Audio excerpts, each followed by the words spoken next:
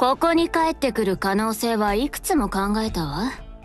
彼女があの日見ていた光景をこの目に。でもまさかあんたと一緒になんて思ってもみなかったわ。ひどいわよねドクター。どこへ行ってたかって？言えないわ。ケルシーがあんたを通さず直接私に下した命令でね。嘘？たのあの女への信頼にはほんと脱帽するわ。まあいいわ。実はちょっと散財してきただけ。ええ洋服よ。もうチェックも通ってる。あらどうしたの？そんなに意外かしら。いつも肉肉しそうに睨んでくるお仲間が何人かいるけどいつ手を出してくるのかしらね。ケルシーがもう説明した？我慢している？何それ。一人一人の欲望を尊重するのも大事なことよ。さっさとかかってこさせればいいわ。ちょうど退屈してたの。私たちは昔のあんたといいお付き合いをさせてもらってたわ。だって傭兵は効率のいい戦争道具だもの。ファーストフードみたいに食べたい時に食べていらなくなったら捨てるだけ。過去に何があったかって？あら私が喋りすぎるのを嫌う人もいるのよ。でも何も覚えてないのは幸せなこと。そうでしょ？感染者を救済する？カズデルの去る数はほとんどみんな感染者よ。それにいろんな圧力や矛盾を抱えてる。救済って具体的にどこまでできるっていうの？彼女一人の去る数も守りきれないケルシーとあんたがどうするつもりかしらね。知りたいの。ここの単純なオペレーターたちが善良で優しい人たちが死んでいく様をその目で見て血で視界と鼻腔が埋め尽くされたらまだこんなことを言ったりやったりできるのかって。あの人の信念をこんな簡単に真似た気になってないで。現実を見たらどう？あんたねアーミヤについてるあれどう考えてもケルシーが何か隠してるでしょ？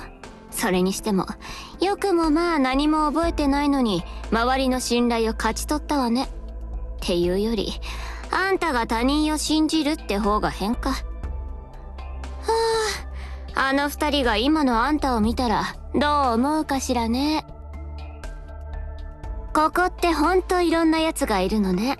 戦士だけじゃなくて普通の病人でさえ千差万別だもの。あら誤解しないで。彼らの考えになんて全く興味ないから。ただアーミヤはよくやってるみたいね。少なくとも頑張ってあの人に近づこうとしてる姿。私は嫌いじゃないわ。ねえケルシーとアーミヤは今のあんたにはきっと何も言わないと思うけどだからこそあんたがあのことを思い出したらどうするかすっごく興味あるの。そんな困った顔をしないで。今はこの名前を覚えておくだけでいいわ。テレジア。そうテレジアよ。本当に悠々自適ね。あんたがこんなところで無防備に寝てるなんて。あの時の誰でも想像できないわ。過去を忘れてしまえばそんな楽になるものなの？サルカズの傭兵 W よ。本当にお久しぶりね。って言ってもあんたが思う久しぶりとは意味が違うかもね。でも別にいいわ。今のあんたは私が探してたあんたじゃないから。今のところは安全ってわけ。そう。今のところはね。恐ろしいほど見慣れた戦い方ね。あんた本当に記憶喪失なの？ええ聞いてるわ。まさかあんたがこんな細かいことまで自分でやってるなんてね。私は人に与えられるより自分で奪う方が乗り気なんだけど。こんなあんたと肩を並べて戦うなんて本当に不思議な体験だわ。あんたがあの日に起きたことを思い出すまではうまくやっていけそうね。お互いどうにか生き残りましょう。傭兵式の式は実戦向きのものよ。私に他人の面倒を見るなんて期待しないでね。あらまた素晴らしい一日になりそうだわ。あらまた素晴らしい一日になりそうだわ。あらまた素晴らしい一日になりそうだわ。全部片付ければいいでしょ？そんな簡単じゃない？めんどいわね。わかった。了解。こっそりどこかに行っちゃうかもね。はいはいここでたっぷり休ませてもらうわ。大当たりを引くのは誰かしらね。誰もサプライズ付きだから好きに選んでね。3つ数える間に投稿のチャンスをあげる。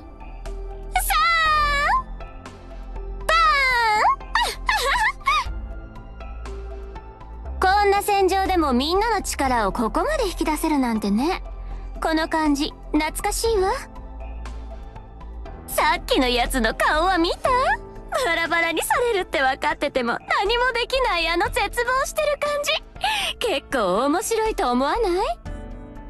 こんなミスをするなんて珍しいわね。腕がなまったの？